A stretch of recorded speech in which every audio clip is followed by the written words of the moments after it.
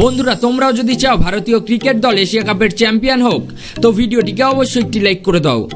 বন্ধুগণ, অহংকারে অন্ধ হয়ে হ্যারিস রব নিজের সমস্ত সীমা অতিক্রম করে আবারও একবার টিম ইন্ডিয়াকে নিয়ে করল বাজে মন্তব্য।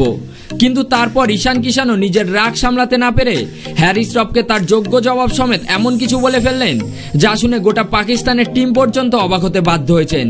তো বন্ধুরা, কীভাবে মাঠের বাইরে এই দুজনের মধ্যে শুরু হলো ভয়ঙ্কর ঝামেলা? আর কি বলে ঈশান করল গোটা পাকিস্তানের মুখ বন্ধ? দেখাবো সেই দুর্দান্ত বয়ানের পুরো ভিডিও।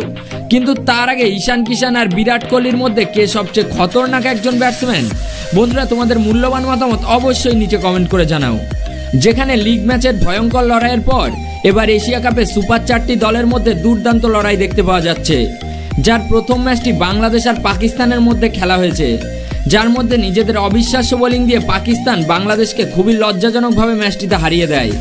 যেখানে সুপার চারটি টিমের মধ্যে তিনটি করে ম্যাচ খেলা হবে। আর এদের মধ্যে যেই দুটি টিমের বেশি স্কোর থাকবে, তাদের সতেরোই সেপ্টেম্বর ফাইনাল ম্যাচটি অনুষ্ঠিত হবে। যার জন্য দশই সেপ্টেম্বর হওয়া ভারত পাকিস্তান ম্যাচে সবার নজর টিকে রয়েছে। কেননা আগেরবার বৃষ্টির জন্য এই দুটি টিমের মধ্যে ম্যাচটি সম্পূর্ণ হয়নি। সেই কারণে এইবারের ম্যাচ আরও বেশি রোমাঞ্চকর হতে চলেছে। কিন্তু তার আগেই পাকিস্তানের ফাস্ট বোলার হ্যারিস রফের ভয়ঙ্কর একটি রিয়াকশন সামনে এসেছে, যার মধ্যে তিনি ভারতকে অসম্মান করে হাসাহাসিও করছেন, যা শুনে রেগে উঠেছেন গোটা ভারতবর্ষ। হ্যাঁ বন্ধুরা, তিনি বলেন, আমি শুনেছি ভারতের ব্যাটসম্যানরা নাকি সবার সেরা, কিন্তু তেমন কিছুই না। আর এটা সবার ভুল ভাবনা ছিল, যা আমরা আগের ম্যাচে দূর করে বিরাট কোহলি আর রোহিত শর্মাকে পাকিস্তানের পায়ের তলায় নিয়ে এসেছি। আর পরের ম্যাচটায়ও তাই হবে। যদিও আগের ম্যাচে বৃষ্টি ভারতকে বাঁচিয়ে দিয়েছে। বন্ধুরা, এই বয়ান শুনে ভয়ঙ্করভাবে রেগে যান ঈশান কিষান।